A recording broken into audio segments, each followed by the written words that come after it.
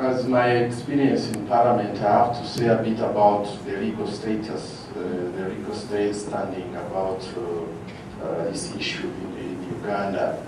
Right now, there is only, I think, in the Penal Code, there is only one, like, one verse, one uh, in the Penal Code which says uh, it, is, uh, it is illegal to have carnal knowledge against the order of nature.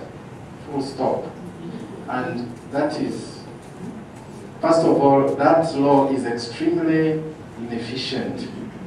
It is ineffective. It was uh, coined in the, in the, 1950s and it is totally outdated because even in, in court, that law can be challenged.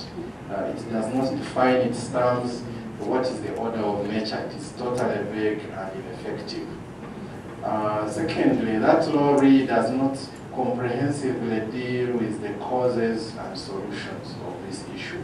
So what we think is necessary now is to have, to draft a new law that comprehensively deals with the, the issue of homosexuality and all these takes into account uh, the, the gay agenda as, as we have seen it and so on, addresses all these issues comprehensively.